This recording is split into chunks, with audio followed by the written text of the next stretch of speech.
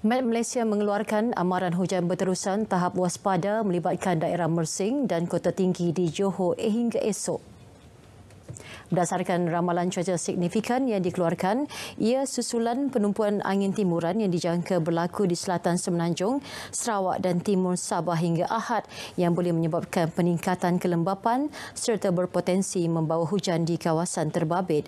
Amaran angin kencang dan laut bergelora kategori kedua pula melibatkan Condor and Reef North di perairan antara Sabah dan Vietnam hingga Isnin depan.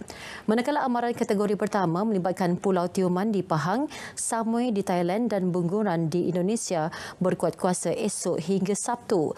Di negeri-negeri lain, ribut petir beserta hujan lebat dan angin kencang berpotensi berlaku pada sebelah petang hingga ke malam.